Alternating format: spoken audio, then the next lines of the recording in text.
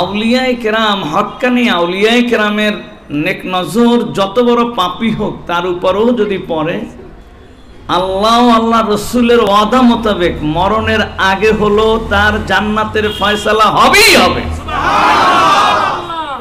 যে সমস্ত ওহাবি মার্কা বা এই সমস্ত আউলিয়াই গ্রামের মর্যাদা সম্পর্কে অজ্ঞ মানুষ এর সমালোচনা করবেন তাদেরকে বলব শুধু সুরায় ফাতেহার তর্জমাটা শেখেন, তাহলেই বুঝে আসবে।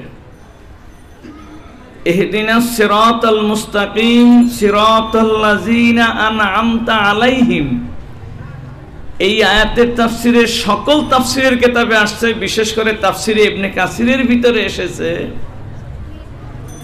যারা আউলিয়ায়ে কেরামের সাথে আদাব, মহাব্বত ইজ্জতের সম্পর্ক রাখবে আল্লাহ তাদেরকে তিন উপায়ের, এক উপায়ে জান্নাতের ফয়সালা দেবেনই দেবেন। আমার মতো পাপি, অস্ত জীবনে বহু শুনেছি, কোনোই পরিবর্তন হয় না বহুবার তহবা করেছি, একটি তবাও রাখতে পারি নাই। এমন কি আছে যে আমি জান্নাতের আশা করতে পারি?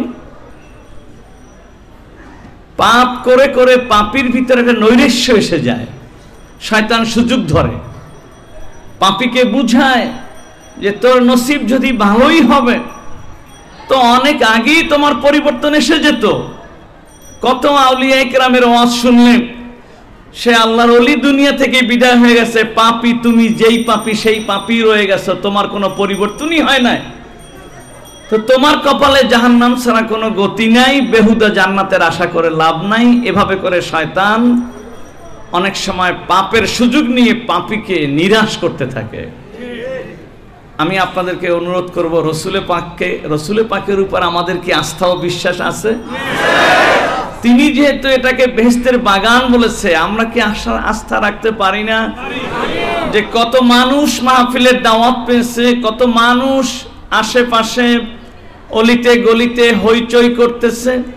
আবার সেই মুহূর্তেই কত মা বোনেরা ঘরের ভিতরে এক মনে ওয়াজ শোনার জন্য বসে গেছে, কত ভাইয়েরা জায়গা না পেয়ে দাঁড়িয়ে শুনতেছে। তা আল্লাপাক যখন মেহরবানি করে যাদেরকে শোনার সুযোগ দিয়েছে, তাদেরকে আল্লাহ অবশ্যই জান্নাতের ফয়সালা করুক, এমন একটা আশা করা যায় না। আপনি কত বড় পাপি যে আল্লাহ আপনাকে জান্নাত দিতে পারবে না। গোটা দুনিয়ার পাপীদেরকে লক্ষ্য করে আল্লাহ বলতেছেন লা তাকনাতু মির রাহমাতিল্লাহ। পাপি রে আল্লাহর দয়া ও মেহেরবানি থেকে তুমি কশিন কালো নৈরাশ হইও না। ই দরগাহে মা দরগাহে না উমিদি নিস্ত সদবরাগার তওবা শিকাস্তি বাজা বাজা শয়তান নফসে আমার ধোকায় যতবার তবা করেছ ততবার তবা ভেঙে ফেলেছ শতবার তবা করেছ শতবার তবা ভঙ্গ করেছ আমার মাওলা বলতেছে হাজার বার তবা ভেঙ্গেও যদি কোনো পাপি আবারও আল্লাহর কাছে ক্ষমার বিখারি হয়, আল্লাহ তাকেও মাফ করতে রাজি আছে।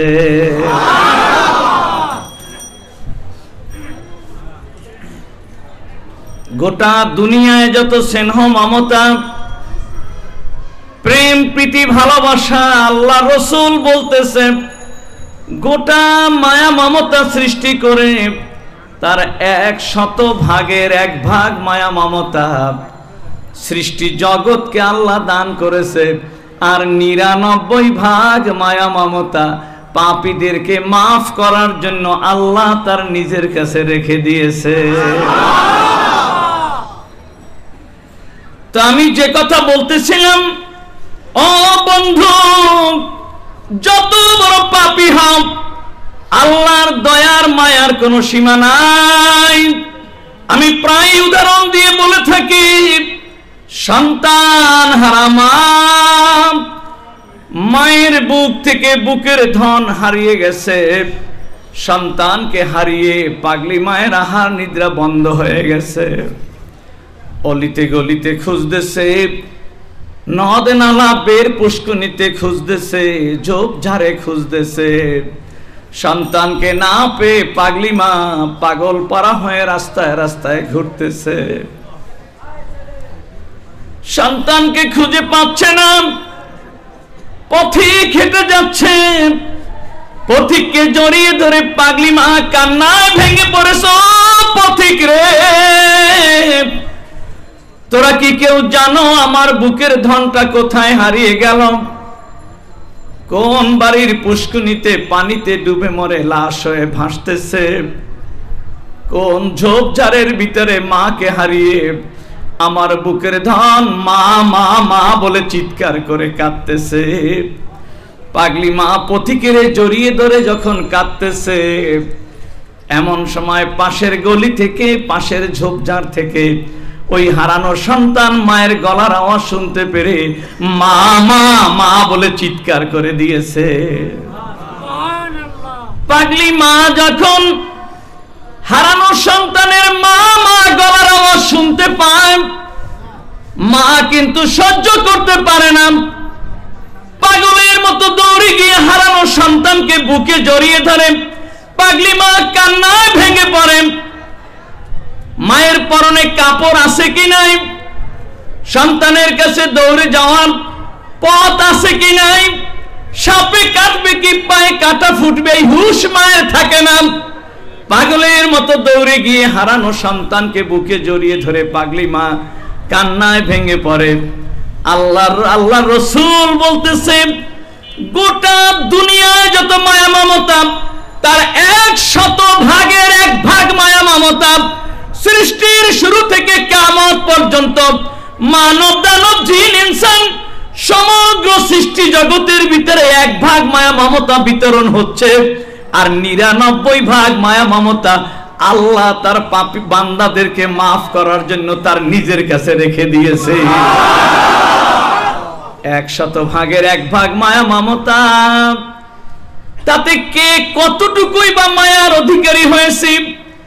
এতটুকু মায়ার অধিকারী হয়ে মা যদি দুদিনের হারানো সন্তানের মা মা চিৎকার সহ্য করতে না পারে যে আল্লাহর কাছে নিরানব্বই ভাগ ভালোবাসা সে আল্লাহ তার বান্দারে কত না বেশি ভালোবাসে।